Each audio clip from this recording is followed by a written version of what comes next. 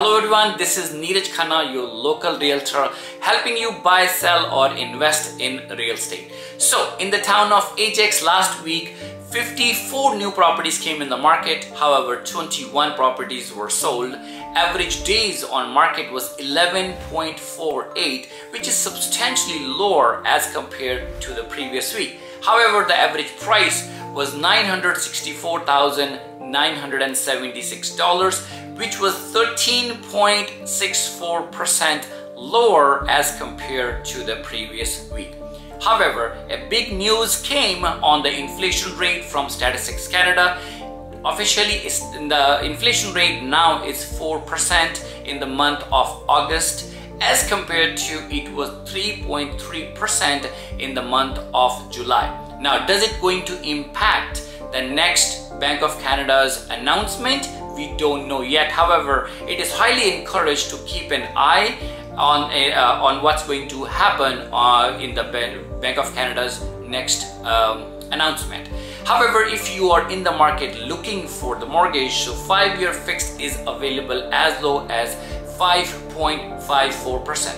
However, three three-year fix is also available as low as 5.99%. I um, highly encourage everyone if you're in the market looking for a mortgage to shop around, find out the best rate possible.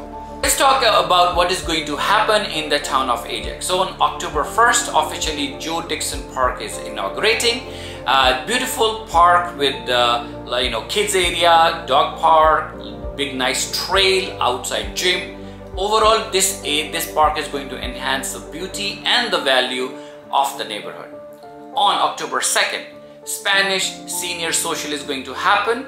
It is going to give an opportunity to all the seniors to network and also learn about the new things what is available for them. And on October 5th, East Side Harmony Guest Night is going to happen. You can find out the more information on durham.ca website. And by the way, all these events are free of cost. Now let's talk about the season. Okay, so officially now the fall season is here. We can see the leaves are changing the colors. It is beautiful outside. Now the bonus is for the first part of the week or the first half of the week, we're gonna see the temperatures are beautiful. It's gonna be anything between mid 20s to high 20s, which means you're gonna get an opportunity to walk around, enjoy the trails. Maybe you're going with the family, uh, with the kids, or the dog if you have, or uh, so don't forget to take some time off and enjoy this beautiful weather because the second part of the week they'll be expecting rain and the temperature may also drop. However, if you are first time on this channel, I highly urge you to subscribe the channel, like, share or follow whichever platform you are on and stay tuned for the next weekly market update. Have a great one, great week and we'll talk soon. Bye-bye.